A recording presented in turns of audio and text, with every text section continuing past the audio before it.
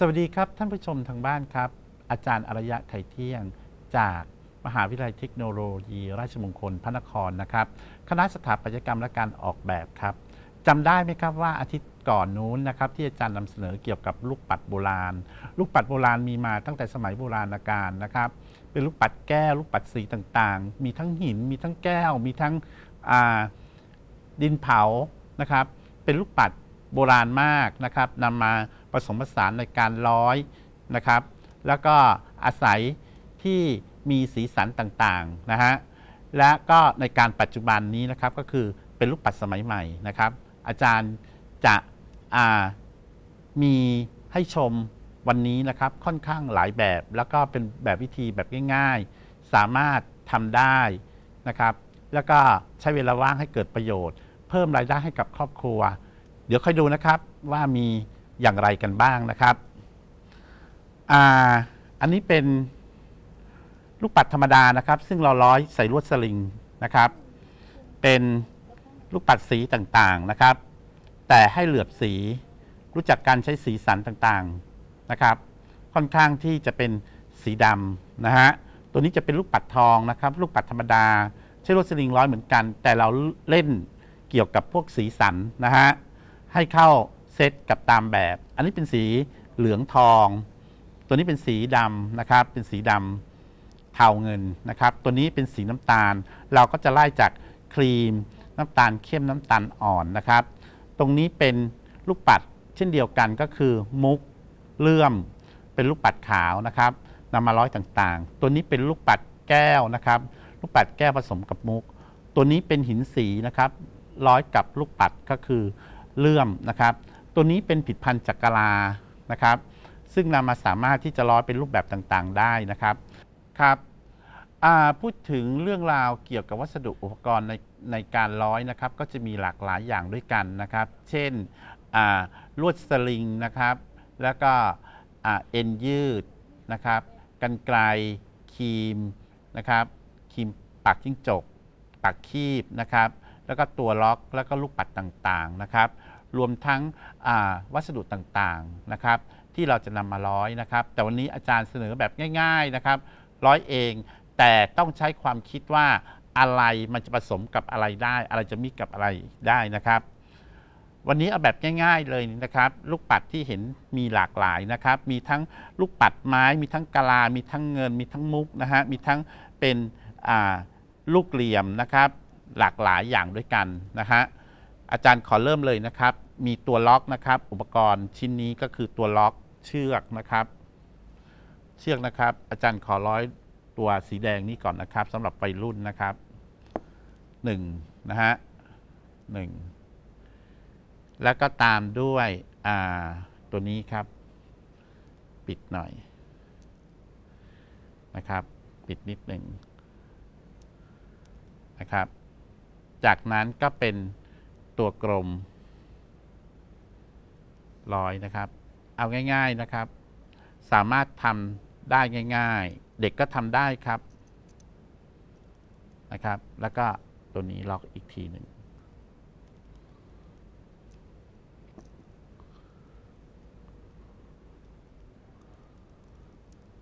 ถ้าดูแล้วก็จะเป็นง่ายจนเกินไปนะครับ เดี๋ยวจันขอรื้อใหม่ ถ้าไม่ชอบเราก็รื้อใหม่นะครับ เอาใหม่ครับ ปลี่ยนใหม่ อาจารย์ค่อนข้างที่จะหลายใจนิดนึง เปลี่ยนใหม่อาจจะสวยขึ้น ก็เหมือนเดิม นะฮะ เปลี่ยนเป็นตัวแท่งนี้ฮะ แท่งเงิน เอานะครับ เอาละครับ จะได้ลงตัวนะครับ แล้วก็ปิดด้วยตัวนี้อีกทีหนึ่งนะครับ ปิดตัวนี้อีกทีหนึ่งเสร็จแล้วต่อด้วยขาวครับ ขาวกลม ถ้าท่านไม่พอใจท่านสามารถจะรื้อออกปรับปรุงอะไรได้หมดทุกอย่างนะครับ เห็นไหมครับ แล้วปิดท้ายด้วยตัวนี้ครับ เข้าเสร็จ แค่นี้ครับ ท่านก็ได้ลูกปัดอย่างสวยงามวิธีล็อกตัวนะครับ ตัวนี้จะเป็นตัวล็อก เอาเชือกใส่ตรงรูนะครับ แล้วก็บีบด้วยครีม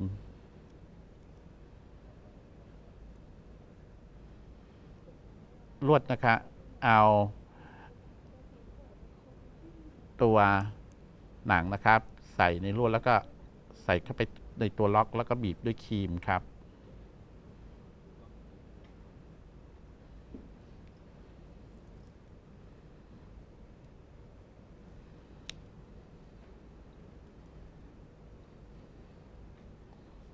ทั้งสองนะครับ แล้วก็บีบด้วยครีมอีกทีหนึ่งครับ เราก็จะได้สร้อยอย่างนี้นะครับ ได้นะครับครับ จะดูอีกอันหนึ่งนะฮะ ก็คือ เราใช้เงิน ตัวนี้ครับ เงินนะฮะร้อยเข้าไป หาจุดกึ่งกลาง นะครับ จากนั้นเราจะใช้อะไรต่อครับ ก็เป็นกะลาขาวนี้ล้วกันนะครับ เราใช้กะลากะลาเจาะรูนะครับ ข้างละหนึ่งวันนี้อาจารย์จะสอนร้อยแบบง่าย ๆนะครับร้อยแบบง่ายๆ และสามารถที่จำหน่ายได้นะครับ สามารถทำได้นะครับ เด็กเล็ก ๆ ก็ทำได้ครับร้อยนะครับ ถ้าไม่พอใจแล้วก็ดึงออกนะฮะ ออกแบบเป็นการออกแบบเครื่องประดับอีกอย่างหนึ่งนะครับ ซึ่งไม่มีขีดจำกัดว่าจะต้องเป็นแบบนี้จะต้องเป็นแบบนี้ขึ้นอยู่ความพึงพอใจ สมมุติว่าเราจะจำหน่ายลูกปัดต่างๆนะครับ เราต้องตั้งแบบนี้ฮะแล้วก็มีลูกปัดหลาย ๆ อย่างนะครับ ให้ผู้ที่สนใจนะครับที่อยากจะร้อย หรือว่าจะนั่นจะออกแบบดีไซน์เองเขาก็จะเลือกตัวนี้นิดตัวนี้หน่อย ให้เรานำมาร้อยแล้วแล้วก็คิดตังค์ตามลูกปัดนะฮะคิดมูลค่าว่าตรงนี้เราจะใช้อะไรได้บ้าง ตรงนี้ราคาเท่าไหร่เท่าไหร่นะครับ ใช้เวลาว่างให้เกิดประโยชน์ครับนะครับ ตอนนี้เราใส่กะลาเข้าไป ข้างละสี่ข้างละสี่แว่นนะครับ จากนั้นก็เป็นลูกปัด เป็นลูกปัดเงินนะครับ เป็นลูกเม็ดประยมห้อยอีกทีหนึ่งนะครับ ซ้ายขวา บางท่านก็เป็นแบบนี้ก็เสร็จแล้วนะครับ ก็ดูสวยงามห้อยคอได้ แต่ถ้าเกิดบางท่านยังไม่พึงพอใจ ก็อาจจะร้อยลูกปัดกะลาเพิ่มเติมได้อีกนะครับ เดี๋ยวอาจันจะร้อยให้ดูนะครับ ข้างละสิบห้าสิบห้าแว่นนะฮะสองสาม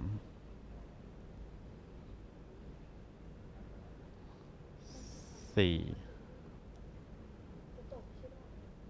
ห้าอีกสิบนะครับ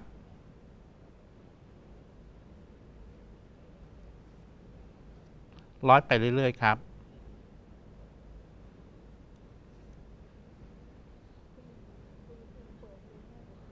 ทั้งสองข้างนะครับ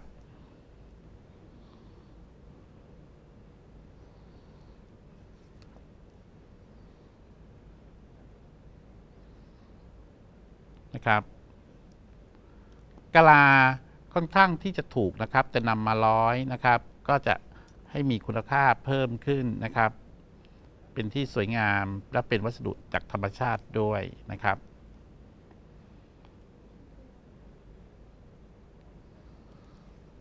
นะครับ ตอนนี้ก็ใกล้จะเสร็จแถวหนึ่งแล้วนะครับ อย่างไรก็ดีนะครับ สาเหตุที่มีกระบะเพื่อไม่ให้ลูกปัดหรือสิ่งที่เราร้อยหลุด หรือแตกกระจายไปได้นะครับ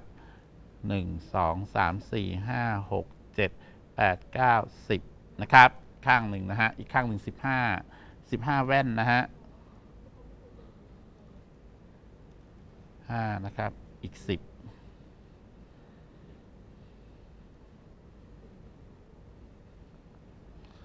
อีกห้านะครับร้อยนะครับ จะมีความรู้สึกว่าวิธีการใช้กลานะครับ เครื่องประดับจากกลา เวลาโดนเหือโดนอะไรแล้วเนี่ย มันจะออกเป็นธรรมชาตินะครับ ไม่ระเคืองต่อผิวหนังที่คอได้นะครับ เหมาะสำหรับวัยรุ่นนะครับ กะลาจะมีออกเป็นทั้งสีขาว สีดำแล้วก็สีธรรมชาตินะครับ หรืออาจจะใช้ลูกปัดไม้นำมาตกแต่งเพื่อความสวยงามก็ได้อีกนะครับ หรือจะใช้ลูกปัดสีก็ได้นะครับ เวลาเลือกเลือกวัสดุในการร้อย เราก็ต้องดูลักษณะว่ามันเข้ากันหรือเปล่านะครับ โดยที่หาผ้าหรือกระบะมาลอง แล้วก็ลองเรียงดูว่าอ่า มันจะเข้ากันไหม เราก็สามารถที่จะลื้อออกได้ออกได้ง่ายที่เราไม่ต้องการ หรือเราร้อยเสร็จแล้วไม่สวย ก็ตัดเปลี่ยนสีสันใหม่ได้นะครับ เหลืออีกเม็ดเดียวนะครับ อีกแว่นเดียวก็จะจบแล้ว ทั้งหมดข้างละ 15 แว่นนะฮะ15 แว่น ตรงนี้เราร้อยเสร็จแล้วนะครับ แต่ดูว่ายังไม่ค่อยสวยงามนะครับ เราก็ต่อด้วยเงินเม็ดโตหน่อยหนึ่งให้ดูหรือจะใช้เม็ดเล็กกันนั้นก็ได้อีกนะครับ จะได้เป็นชุดกัน อย่างนี้นะครับ จากนั้นก็ร้อยด้วยขั้นด้วยกลาอีกนะครับ อีกข้างละ 2 เม็ด2แว่นนะครับ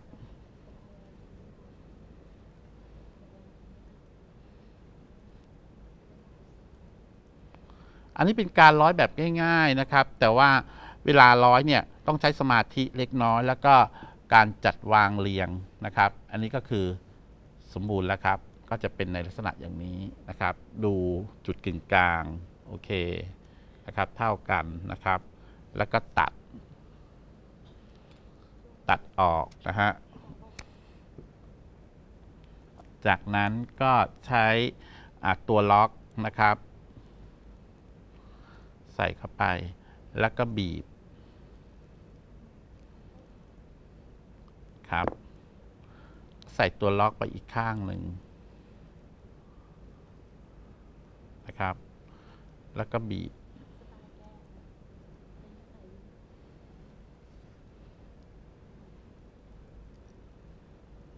นะครับ แล้วก็เปิดล็อกในตรงนี้ได้นะครับ สามารถที่จะ ใส่คอได้นะครับ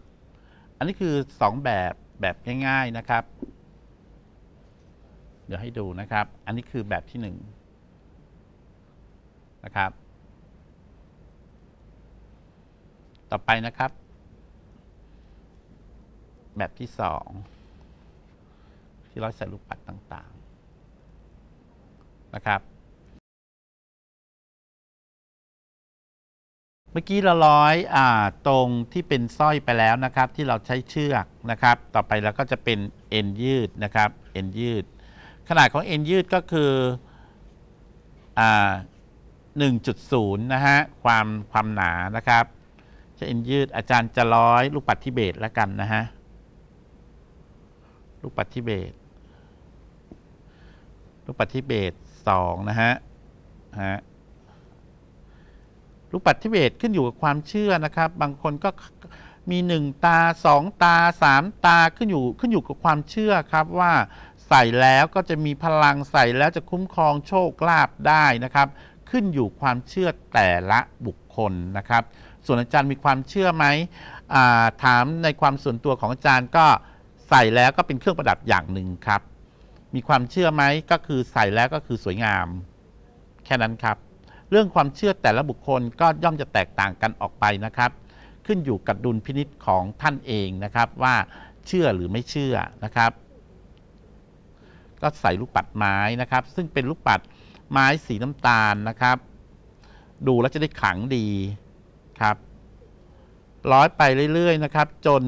ทั้งสองข้างให้เท่ากัน โดยใช้เอ็นยืดร้อยนะครับ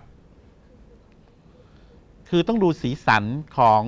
ตัวประกอบด้วยว่าสีสันองค์ประกอบเนี่ยมันเป็นโทนสีน้ำตาลอยู่แล้ว เราก็จะใช้ลูกปัดร้อยซึ่งเป็นมีลูกปัดไม้ ซึ่งเป็นลูกปัดสีน้ำตาลนะครับร้อยด้วย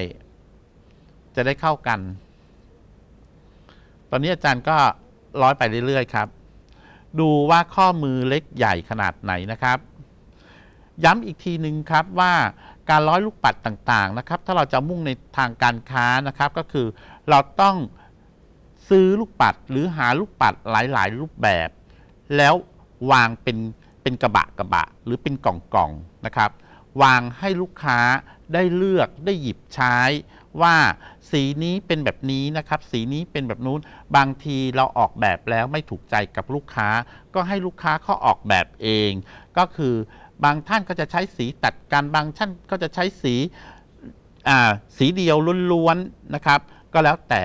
นะครับ แต่หลักการออกแบบต่างๆ เราก็จะเสนอแนะให้เขาได้ว่าอย่างนี้มันไม่ดีนะครับ อย่างนี้มันจะสวยเราก็แนะนำเขาได้นะครับ แต่อย่างไรก็ดีนะครับ ใช้เวลาว่างนะครับให้เกิดประโยชน์นะครับ โดยหาลูกปัดต่างๆ หลากหลายชนิดนำมาร้อยนำมาตกแต่งนะครับ ตอนนี้ความยาวได้แล้วครับนะฮะร้อยธรรมดาธรรมดานี้เองนะครับ แล้วก็ผูก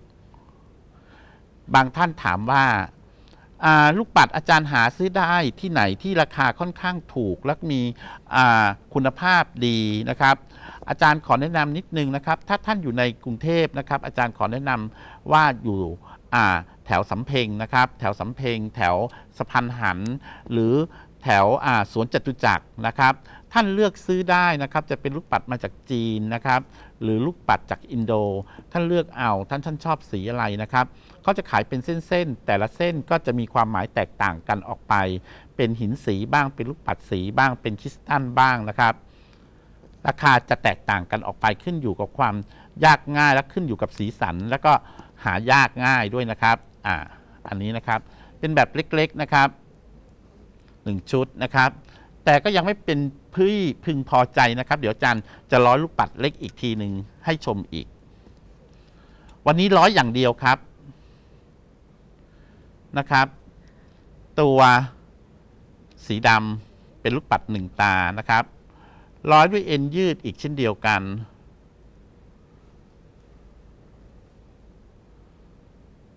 นะครับ แล้วก็ตามด้วย ตัวสีขาว ลูกปัดหนึ่งตา ดูสี ดูสีดูน้ำหนักว่า อ่า มันเท่ากันไหม ดูขนาดเม็ดนะครับ ว่า อ่า เราต้องการเม็ดขนาดไหน ตาชัดหรือเปล่าในวิธีการเลือกซื้อลูกปัดนะครับ ลูกปัดตานะครับร้อยไปสองอันแล้วนะฮะฮะ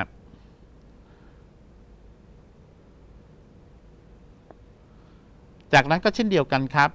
ใส่ลูกปัดอีกอันหนึ่งเข้าไปเป็นลูกปัดใหญ่หน่อยเป็นลูกปัดไม้นะครับ แทรกลูกปัดไป แล้วก็ตามลูกปัด ตาอีกนะครับ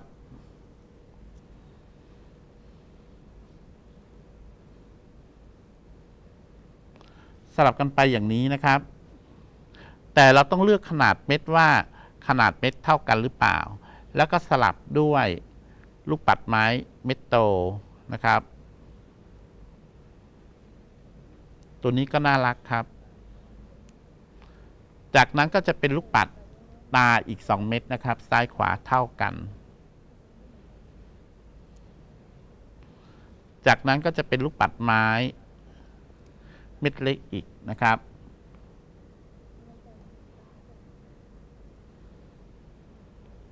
ข้างละหนึ่ง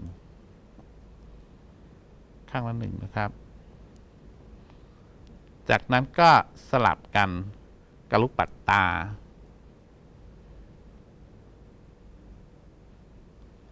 แล้วก็จะเป็นลูกปัดไม้นะครับ สนุกครับในการร้อยลูกปัดครับ จะได้มีสมาธิในการร้อยนะครับ สนุกมากครับ บางคนใช้เวลาว่างแล้วก็เพิ่มรายได้ให้กับครอบครัวในการร้อยนะครับ แล้วก็เปิดแผงในการจำหน่าย แล้วก็ปิดด้วยลูกลูกตาอีกหนึ่งเม็ดนะครับ เมื่อได้ขนาดตามต้องการแล้วก็ผูกครับ ผูกก็ผูกตายธรรมดาครับ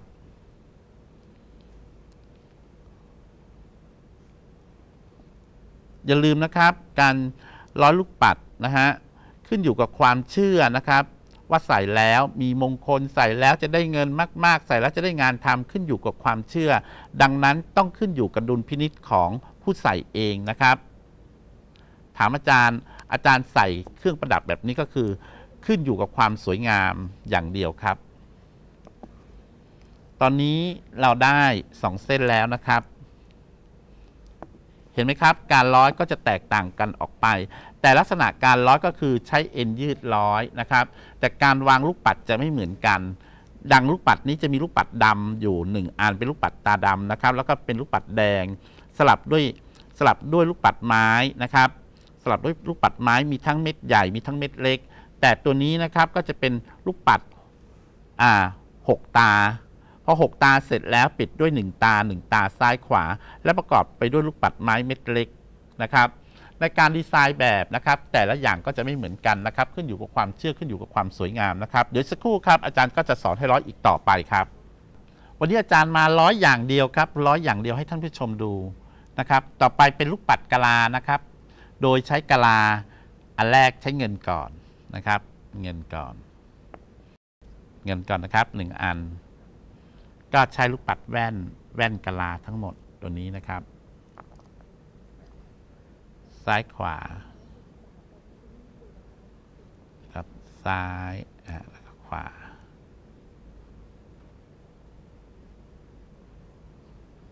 ขอเงินอีกตัวหนึ่งครับ แล้วขอเงินอีกตัวหนึ่งครับ ซ้ายขวา เอานะครับ แล้วก็เป็นแว่นกะลา แล้วก็เป็นแว่นกะลา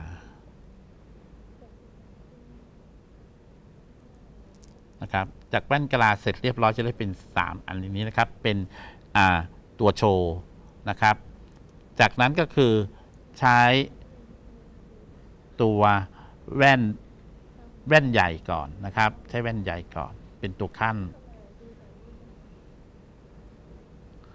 ข้างละสอง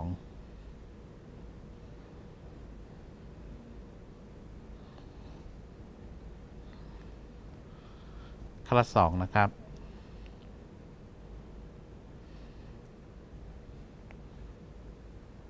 พอข้างละสองเสร็จปุ๊บ ใช้แว่นใหญ่ครับกะลาเหมือนกัน เป็นข้างละหนึ่ง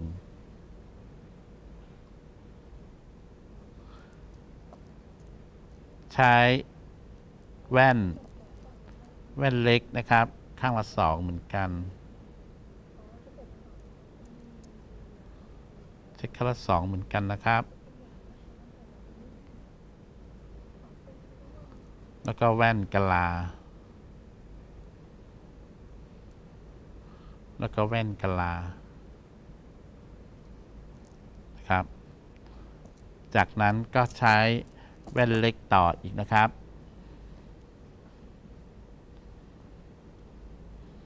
เป็นข้อมืออีกเหมือนกัน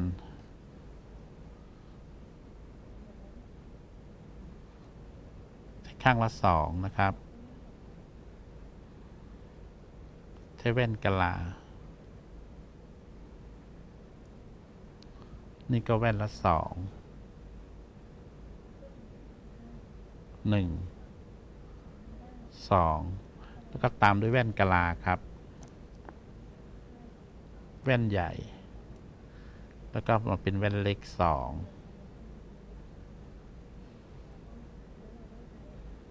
ก็ตามด้วยแว่นกะลา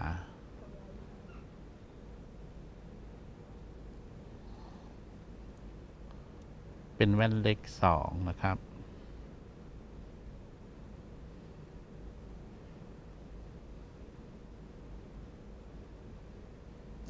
แล้วก็ต่อด้วยกะลา แว่นกะลานะครับ แว่นใหญ่หน่อย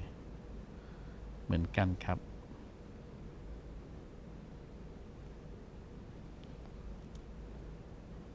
นะครับ ราคาก็อาจจะแตกต่างกันออกไปนะครับ ขึ้นอยู่ว่าข้อมือใครใหญ่ข้อมือใครเล็กอีกเช่นเดียวกันนะครับ ดังนั้นการร้อยการออกแบบก็จะไม่มีทางสิ้นสุดนะครับ ขึ้นอยู่กับความชื่นชม ชื่นชอบแต่ละบุคคลจะไม่เหมือนกันนะครับ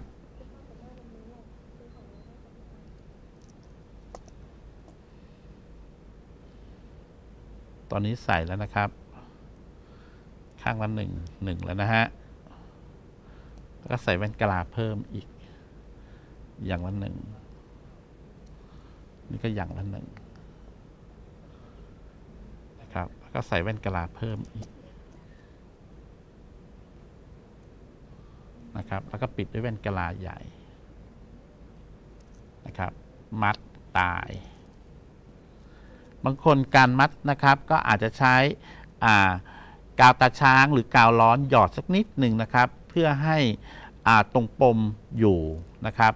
แต่บางท่านไม่ใช้ก็ไม่เป็นไรครับ แต่ต้องมัดให้แน่น ๆ หลาย ๆ ครั้ง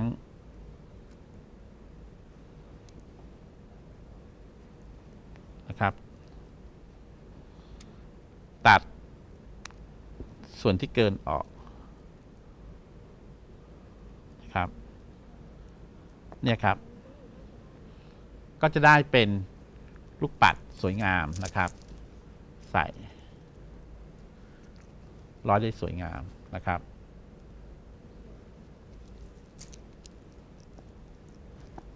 นี่ครับดังที่เห็น ต่อไปอาจารย์จะสอนให้ร้อยลวดสลิงแบบง่าย ๆ นะครับ โดยใช้ลูกปัดต่างๆ ร้อยอีกเหมือนกันนะครับ เราก็ใช้ลวดสลิง ตัดลวดสลิงพอประมาณนะครับ ก่อนอื่นก็คืองอลวดลวดสลิงที่ปลายนะครับ หรือโคนก็ได้ งอนิดหนึ่งเพื่อให้เวลาร้อยลูกปัดปัดจะได้ไม่หลุดออกจากลวดนะฮะ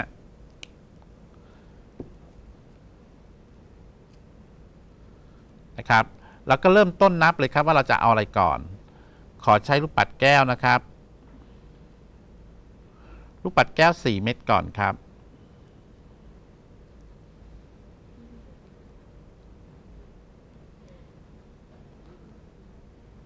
ลูกปัดเม็ด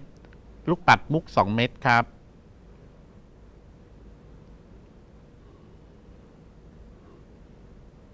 ร้อยไปแบบนี้ครับ จนหมด นะฮะ ตามด้วยลูกปัดแก้ว4เม็ด ตรงนี้ต้องระวังนิดนึงนะครับว่าลวดว่าลวดสลิงเนี่ย มันจะโดนมือนะครับ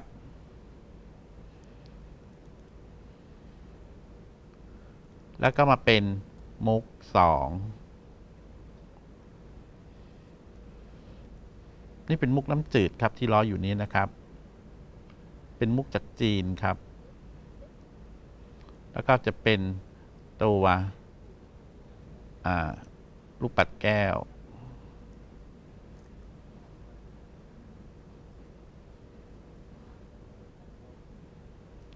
แล้วแต่เราจะออกแบบเพราะว่าเราจะใส่อะไรก่อนจะใส่มุกก่อนก็ได้นะครับ หรือว่าจะใส่ลูกปัดแก้วก่อนก็ได้นะครับ แก้วก็มีหลากหลายสีด้วยกัน มุกก็จะมีมุกกลมมุกรีนะครับ แล้วแต่เราจะชื่นชมชื่นชื่นชอบอันไหนนะครับ เราก็จะใส่ตรงนั้นได้นะครับร้อยไปเรื่อย ๆ ครับ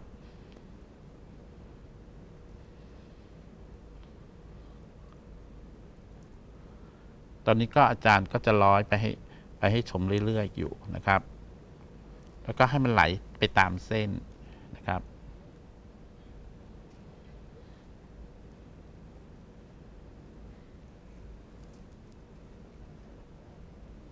แล้วก็เป็นมุกต่อนะครับ ถามว่าย่อยากไหมในการร้อย ตรงนี้มันจะไม่ค่อยยากครับ แต่ว่ามันต้องใช้อุตสาหะนิดหนึ่งในการร้อยนะครับ อาจารย์ไม่บอกว่าราคาขายราคาขายประมาณเท่าไหร่ ขึ้นอยู่กับว่า ลูกปัดหายากไหมลูกปัดแพงไหมถ้าเกิดลูกปัดแพงเราก็ตีค่าแรงเราไปประมาณสัก 20 บาทหรือ 15 บาทนะครับ แล้วก็ในจำนวนของลูกปัดที่เราซื้อมา แล้วก็สมมุติว่าราคาของลูกปัดเมื่อร้อยเสร็จเรียบร้อยแล้ว ลูกปัดประมาณประมาณนะครับ ประมาณอ่า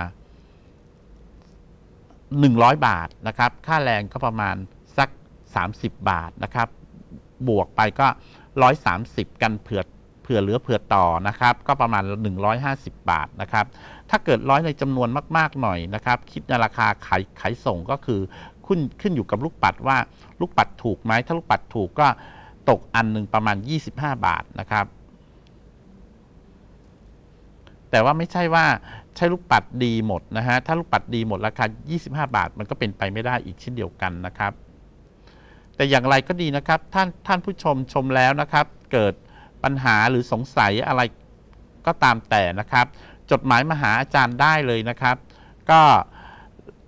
จดหมาย 3 ท่านแรกก็จะได้เรียนลูกปัดการร้อยแบบนี้นะครับ ฟรีพร้อมอุปกรณ์ต่างๆนะครับ อาจารย์สอนให้ฟรีเลยครับ เขียนจดหมายเข้ามาหาในรายการของอาจารย์เลยนะครับ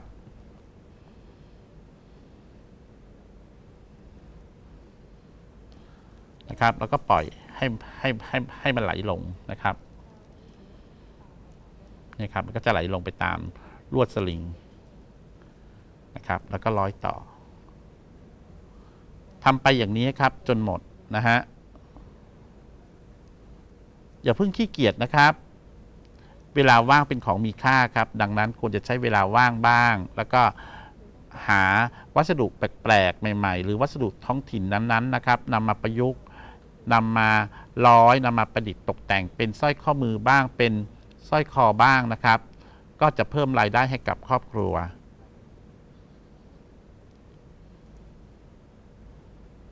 นะครับ ตอนนี้ก็ได้ประมาณเกือบครึ่งเส้นแล้วครับ เดี๋ยวอีกสักครู่ก็คงจะเสร็จนะฮะ อาจารย์ก็จะร้อยๆต่อๆไปเรื่อย ๆ นะครับ ในการมิก การมิกพวกลูกปัดต่างๆนะครับ ขึ้นอยู่กับสีสันในการในการอาผสมผสานในการมิกนะครับ แต่ว่าในการทำแต่ละหนึ่งครั้งเนี่ยเราต้องวางวางไว้ก่อนว่า วัสดุตัวนี้ลูกปัดตัวนี้เข้ากับตัวนี้ สีตัวนี้สวยกับตัวนี้นะครับ เราต้องพยายามเลือกสรรหาของวัตถุดิบก่อน พอสรรหาวัตถุดิบเสร็จปุ๊บ เราก็นำมาร้อยดู แล้วก็ประเมินราคาดูว่าราคาเท่านี้จะขายได้ไหม หรือจะขายแพงต่อไปไหมตลาดมีความต้องการไหมนะครับ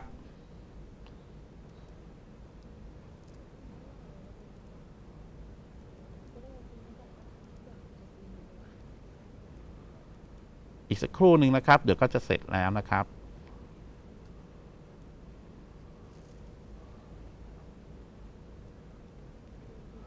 ทีนี้ขึ้นอยู่กับว่าอ่าความยาวของของตัวกำไรนะครับ ว่าเราจะเอา กี่วงรอบนะครับตัวนี้แบบสั้น ๆ หน่อย เดี๋ยวผมขออีกสักสองแถวล้วกัน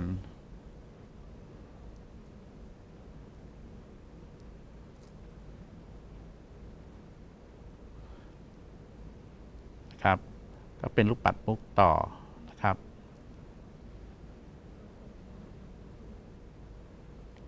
พอลูกปัดมุกเสร็จปุ๊บก็เป็นลูกปัดแก้วต่อนะครับ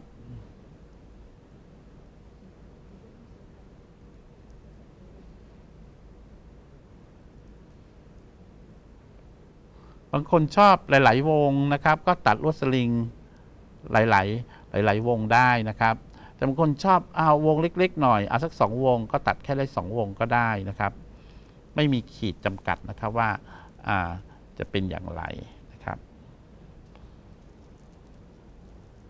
ตอนนี้บิดแล้วนะครับ ลูกลูกปัดก็จะลงไปตาม ตาม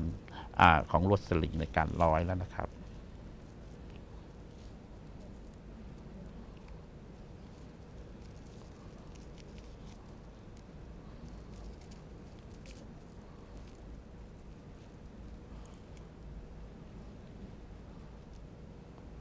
แป๊บหนึ่งครับ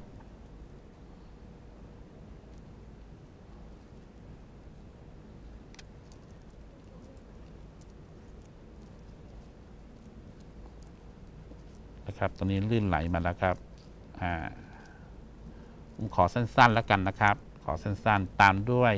ลูกปัดแก้วอีกนิดวงหนึ่งนะฮะ จะจบแล้วครับ อีก 4 เม็ดครับหนึ่ง สองสามสี่จบแล้วครับนะครับ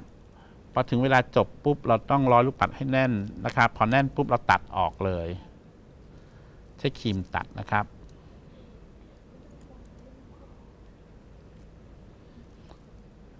นะครับ เราใช้ครีมตัดนะครับ ส่วนนั้นแล้วก็งออันนี้สั้นหน่อยนะครับ งอลวดสลิง โค้งนะครับ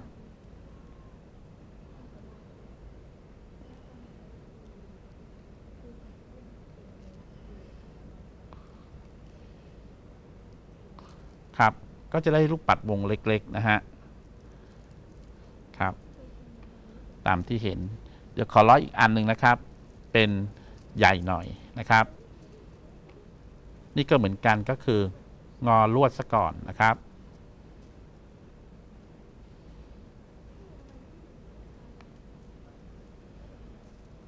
อันนี้ก็จะเป็นอีกแบบหนึ่งนะครับ นี่จานร้อยต่อนะครับแป๊บหนึ่งครับ เดี๋ยวก็เสร็จแล้วฮะสักครู่หนึ่ง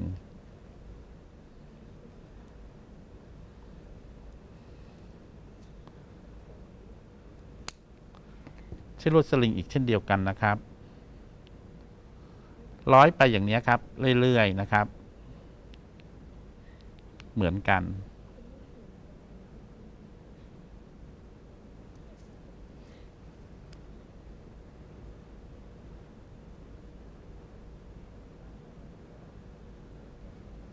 การร้อยนะครับ ต้อง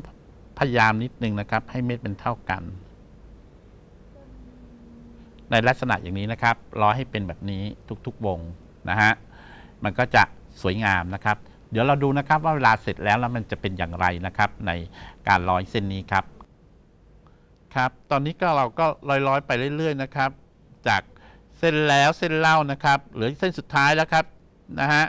เป็นลูกปัดสีขาวนะครับ แต่ก็อย่าลืมนะครับสนใจหรืออยากจะร้อยกับอาจารย์อารยะนะครับ ก็เขียนจดหมายมาในรายการนะครับ ถึงอาจารย์อารยะไทยเที่ยงนะครับ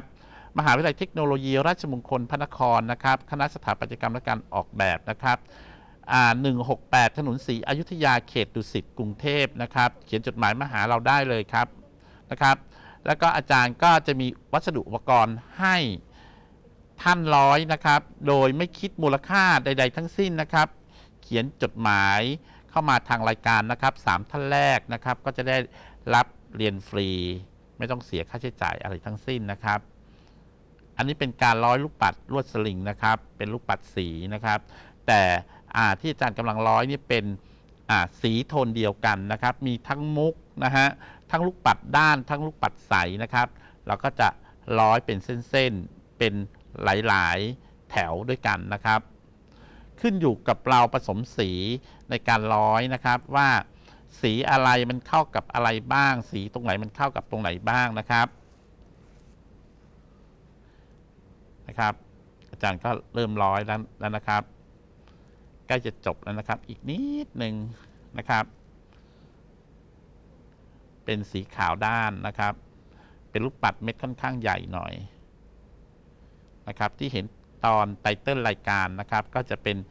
สีน้ำตาล สีเหลือง สีดำสีขาวนะครับกำลังร้อยอยู่เนี่ยนะครับ วันนี้นะครับผู้ชมทางห้องส่งมีนะครับ ก็อยากจะได้กัน เดี๋ยวก็จะร้อยให้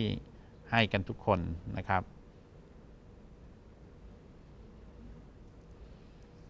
ก็อีกนิดหนึ่งครับ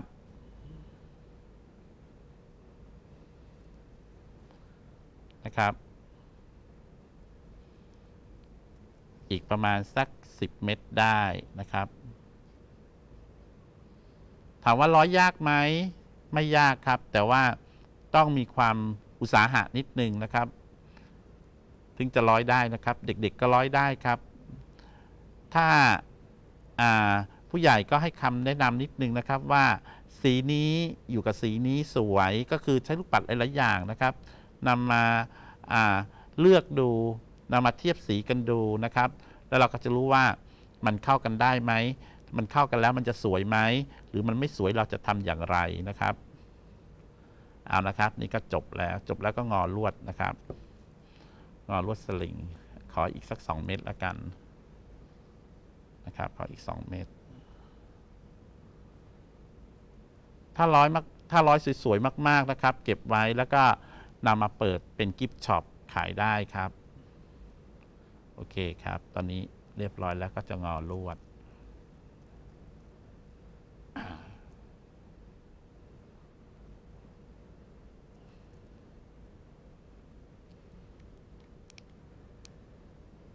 จำงอลวดแล้วนะครับ เราก็ได้กำไรแล้วครับเนี่ยครับนะครับ เดี๋ยวสุดท้ายครับเราจะสรุปให้ฟังว่าเราจะร้อยอย่างไรถึงจะให้ดีร้อยยังไงจะที่จะต้องถูกใจกับลูกค้า แล้วก็ราคาขายราคาเท่าไหร่นะครับ ความสวยงามของลูกปัดต่างๆ ดังที่เห็นนะครับ ก็จะมีความแวววาว มีความมันนะครับ ไม่ว่าจะเป็นวัสดุที่ประดิษฐ์ หรือเป็นวัสดุจากธรรมชาติ เช่นกะลานะครับ ลูกปัดยังแบ่งออกเป็นหลากหลายชนิดด้วยกัน เช่นลูกปัด หินสี มุก เลื่อมนะฮะแล้วก็ยังมีอีกหลากหลายอย่างลูกปัดที่เบตกะลามะพร้าวนะครับหรืออาจจะเป็นลูกปัดไม้นะครับหรือจะเป็นมุกนะครับมีหลากหลายอย่างให้ท่านชม วันนี้นะครับอาจารย์อริยะร้อย เยอะมากเลยนะครับ ท่านก็จะเลือกแบบอย่างหนึ่งอย่างใดได้นะครับ หรือไม่อย่างนั้นนะครับ ถ้าท่านสนใจนะครับสอบถามรายละเอียดเกี่ยวกับการร้อยนะครับประวัติความเป็นมาของหินสีโบราณ หรือจะเป็นลูกปัดสมัยใหม่นะครับ เขียนมาได้เลยนะครับสนสนใจรายละเอียดต่างๆนะครับ เขียนถึงอาจารย์อารยะไทยเที่ยงนะครับมหาวิทยาลัยเทคโนโลยีราชมงคลพระนครนะครับ คณะสถาปัตยกรรมและการออกแบบ 168 ถนนศรีอยุธยา ขตดุสิตกรุงเทพถึงแน่นอนนะครับ อย่าลืมนะครับจดหมายมากันเยอะๆนะครับสามท่านแรกก็จะได้รับวัสดุอุปกรณ์และก็เรียนฟรีกับอาจารย์ ตัวต่อตัวนะครับ วันนี้เวลาหมดพอดีครับกราบลาท่านผู้ชมนะครับ อย่าลืมนะครับสงสัย